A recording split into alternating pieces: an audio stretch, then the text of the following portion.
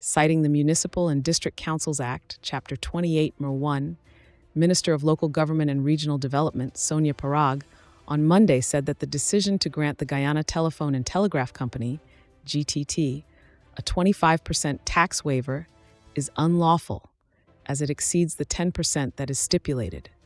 In a strongly worded statement, she pointed out that this decision was made even though the council claims it is facing financial woes and is continuously requesting bailouts from central government.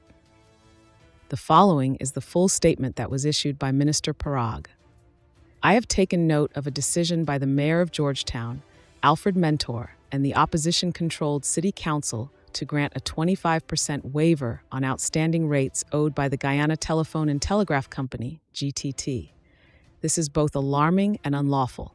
Section 215 of the Municipal and District Councils Act, CAP 28.1 clearly stipulates that any discount on rates due must not exceed 10%. By approving more than double this legally mandated limit, the mayor and his council have blatantly disregarded the rule of law and their fiduciary duty to the citizens of Georgetown. This decision comes at a time when the council continuously laments its financial woes and requests bailouts from central government, claiming to be cash-strapped. It is baffling that while pleading poverty, the council finds it prudent to forego significant revenue that could have been utilized to improve vital services such as garbage collection, market management, and overall sanitation, all areas in which they have consistently and miserably failed. The council's financial management must be scrutinized. Instead of prioritizing the collection of funds owed to the city, they have chosen to grant concessions that are not only legally questionable, but also fiscally irresponsible.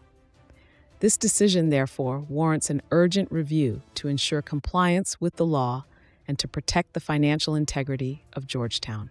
Equally concerning is the broader pattern of financial mismanagement and political opportunism exhibited by the opposition led council. This is not an isolated incident, but rather part of a troubling trend. Most recently, in August 2024, the Council approved a similarly controversial waiver for political parties, which the People's Progressive Party Civic PPPC vehemently opposed.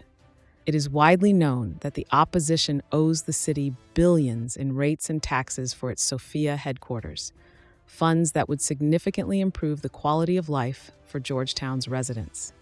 This raises serious questions about the motivations behind these decisions. Is the council truly working in the best interest of Georgetown's citizens, or are these actions part of a calculated strategy to benefit select entities and political allies? The implications are deeply troubling and demand transparency. The Ministry of Local Government and Regional Development will continue to monitor these developments closely. We remain committed to ensuring that all municipal actions adhere strictly to the law and serve the best interests of the people of of Georgetown. The time has come for the council to place the welfare of its citizens above narrow political interests. The people of Georgetown deserve better.